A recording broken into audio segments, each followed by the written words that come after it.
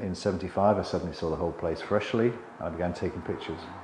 And now, 40 years later, unbelievably, the whole lot has been made into a book uh, alongside a book about Wales, North Wales, where I lived for 10 years, and a book about Liverpool. And that book, the theme was, I thought, was, was uh, landscape. But now I see all this Irish stuff here, and there's so many people in the pictures. Somehow these pictures have, have, um, ended up being in the book which is pretty amazing to me because I didn't select them. I worked with, with uh, three other edit editors. Uh, so this is their selection and uh, these are just really poor quality photocopies, work prints of the layout of the book.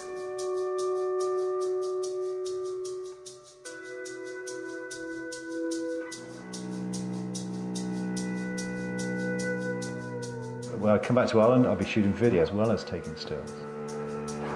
This picture here um, is, is from the video. My mother never came back to Ireland only for funerals. The reason my mother left Ireland was, was for, you know, due to religious intolerance. She was Catholic and she married a Protestant.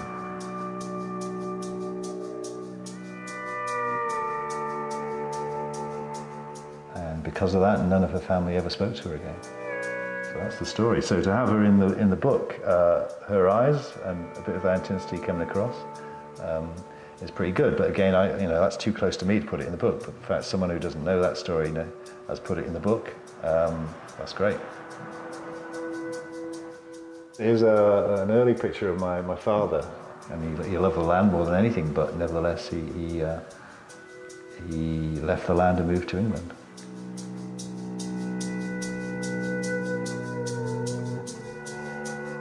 How you put a set of pictures together to add up to a lot more than um, the individual pictures is, is, a whole another art form.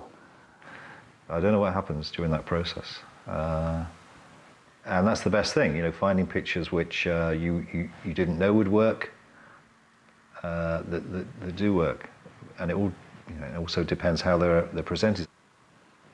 Looking at this latest version uh, makes me feel um, it's it's uh, scary. You know, it's kind of this is the final version.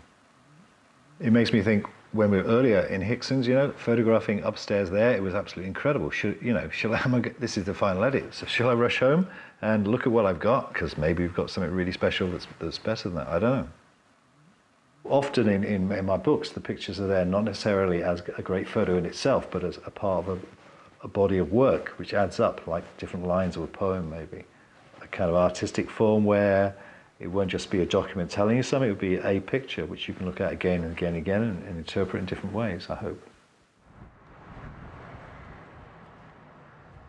Help me out!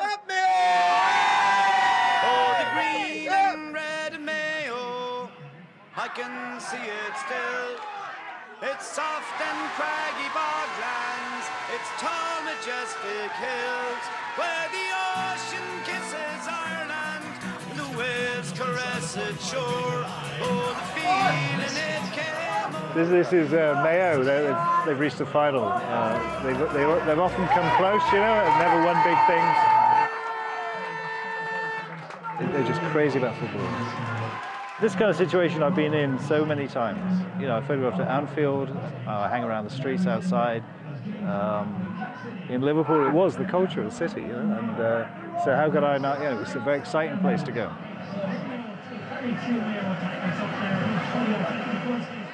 A bad result today, so people weren't really expecting it, but, you know, it would have been great.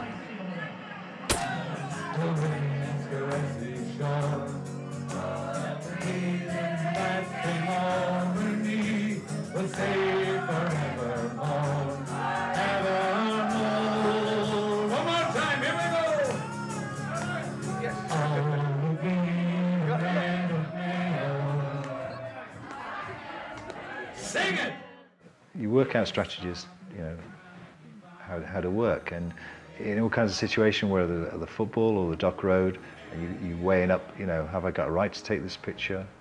What would happen if I take this picture? Um, at the same time, you know you've got to take it now, or it'll be the moment will be gone. I moved to Merseyside in 1978, and on the corner was, was a nightclub called the Chelsea Reach.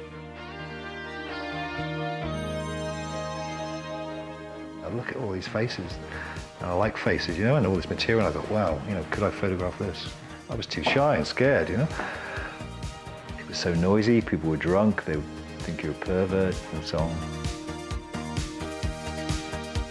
I only knew you for a while. I never saw you. Well, if it was easy, if I was invisible, I wouldn't have those kind of tensions. It probably wouldn't be as good. I wouldn't be as involved, maybe. Did it really seriously from 84 to 86. I say seriously, three nights a week I'd go in there. A lot of the people I would see on the street would end, you know, they were teenagers or whatever. By 1985, they'd be in the club. They would know me from the streets. So that made it easier. I knew I wanted to get the emotion and the feeling. I, I was spending my life, my time looking at them, and they're like looking at each other, and uh, looking for love seemed okay as a time.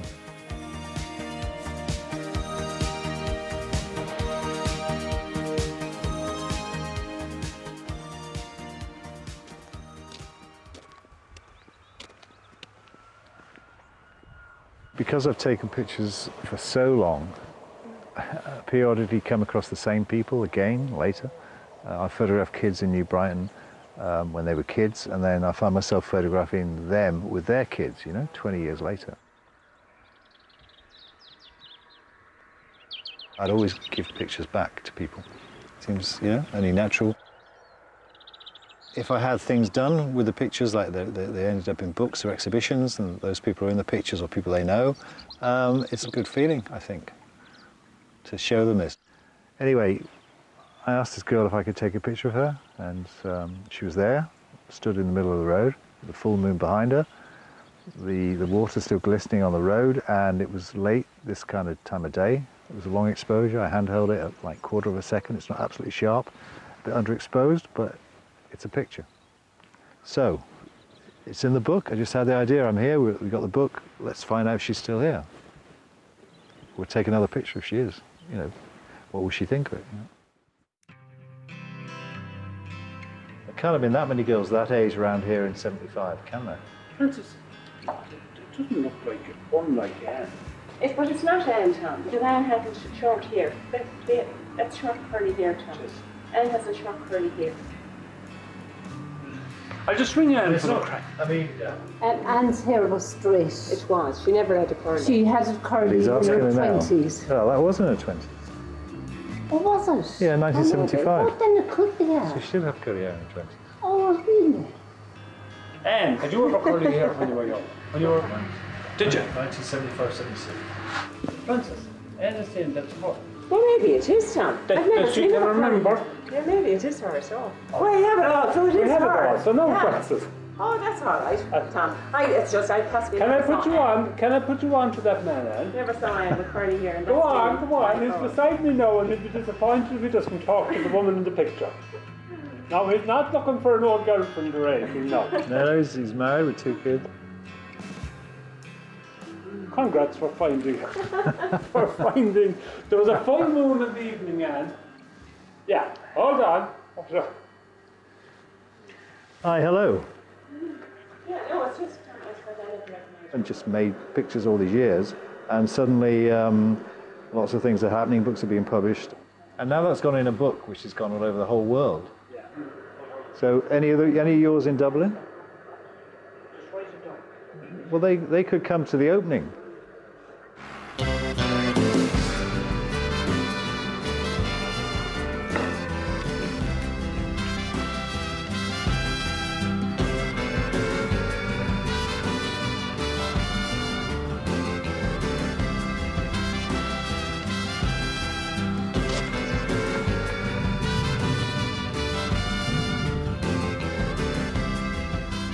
A graveyard, and it's uh, it's where my mother's father's family and mother's mother's family were buried.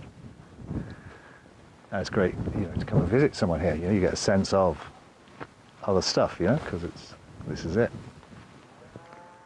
When I came to, to, to get this camera, I was always interested in in, in landscapes um, and panoramic format my favorite photographer in the whole world was this Czech photographer called Josef Sudek.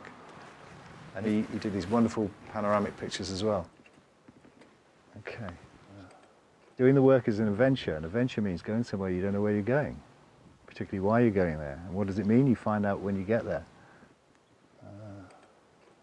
So I deal with this landscape and then how it works as a picture, not my meaning I'm imposing on it. I used to paint, I used to paint abstractly. The process of making pictures affects me, just like the process of painting affects me. Okay, I give up. I'm going to go around the other side. Through that process of trying and looking and trying and looking, you get closer and it becomes interesting. So you take a picture and you think, ah, no, that wasn't any good, but that, that involved decisions, you know, concentration, and then you go on and try another one.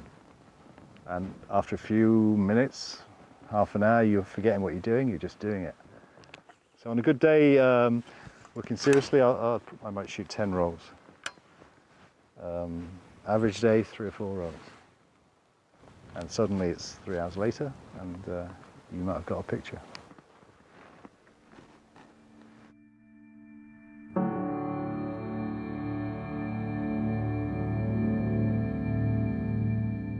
Over the years, I've never made any money doing this. Photography is really expensive. You shoot a lot of film, the film's expensive. You've got to pay for the process, you have to make work prints um, if you don't work commercially. So my way of working was to, uh, I taught BTEC photography. I did that two days a week. I took photographs five days a week, and my wife worked. Um, things were okay, but never made any, any serious money. You know, many years I'd make a loss. I mean, partly it's my own fault because I never wanted to finish anything. I wanted to carry on working on something over and over and over again. Kept too many balls up in the air. Never completed the project.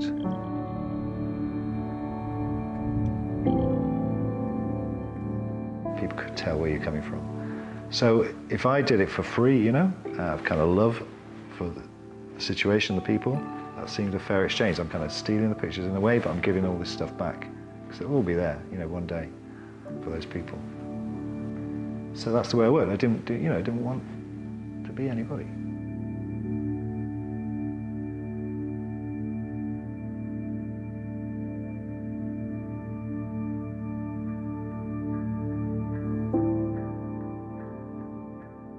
When a gallery started representing me and I was selling prints, I couldn't believe it.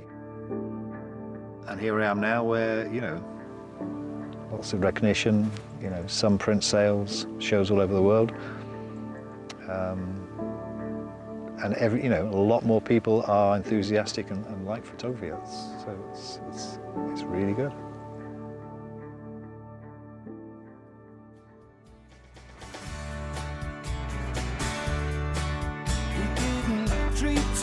with suspicion. We didn't knock his camera out of hand. A look at life from the inside out here on BBC4 Next tonight. Ben Garrod exposes more brand new secrets of bones in just a moment. And then at nine, the inner workings of the incredible human foot in the second of our brand new dissection programmes. Stay with us.